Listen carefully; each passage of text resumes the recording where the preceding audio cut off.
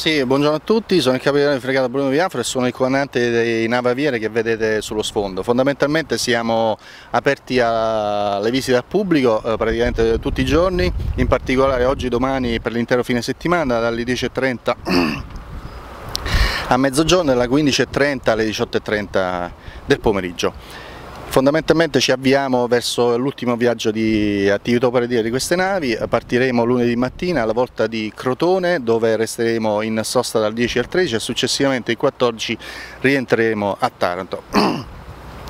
Queste navi saranno sostituite in futuro dalle nuove unità in produzione nei cantieri di La Spezia, denominate FREM, che sono delle fregate multiruolo e che sono fondamentali per il rinnovamento della nostra flotta. La flotta che è costituita da circa 60 navi di prima e seconda linea, nonché unità specialistiche.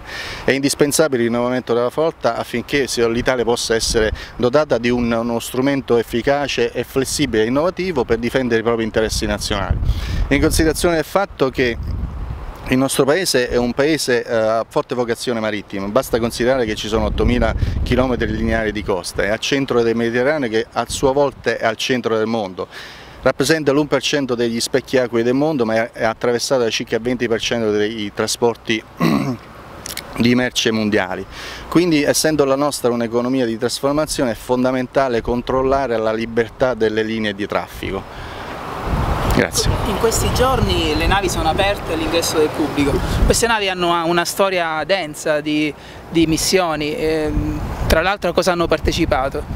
Sì, eh, effettivamente nell'attività quasi trentennale di, di, entrambe le navi, in, particolar, eh, in, eh, in, particolar, modo la mia, ha partecipato a delle attività particolarmente eh, importanti. Basti pensare nel 2002 all'operazione Enduring Freedom nel, nel Mar Arabico, dove la mia unità di scorta alla portaerei di Garibaldi è rimasta in attività per circa 5 eh, mesi fuori dal Mediterraneo, lontano dalla madreparia.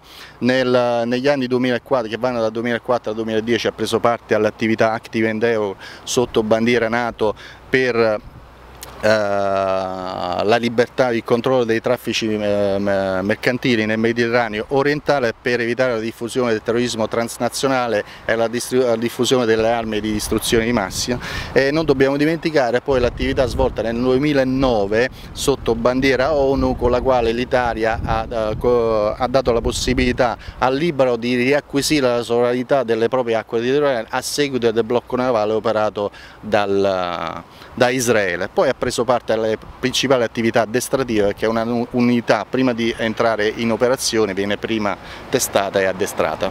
Quindi invitiamo i regini a visitare queste bellissime navi. Certamente, siamo a vostra completa disposizione, vi aspettiamo numerosi. Grazie.